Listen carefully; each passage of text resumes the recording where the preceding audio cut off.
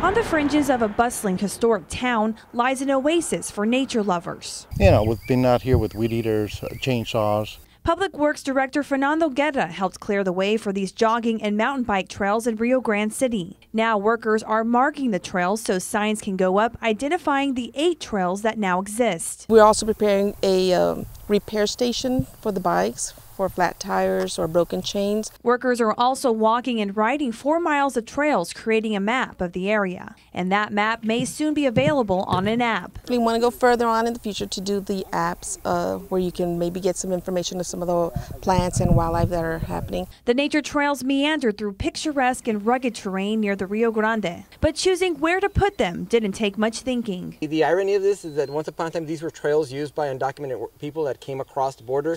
They were uh, Uh, probably also used by people who are smuggling stuff. Border Patrol agents still patrol these dirt trails, but city officials are hoping the tourist traffic will deter illegal activity. So the minute that this becomes an area that's that's frequented by people, regular everyday people, the people who are doing the illicit stuff, the undocumented workers or people who are smuggling, they're going to avoid it. The transformation from narcotic and human smuggling highway to a nature lover's paradise has taken about six months. But in the end, it's a change city officials welcome. You have little mini meadows and little streams and the river nearby, so it's going to be something like nothing else exists in the entire valley. This is nature at its finest.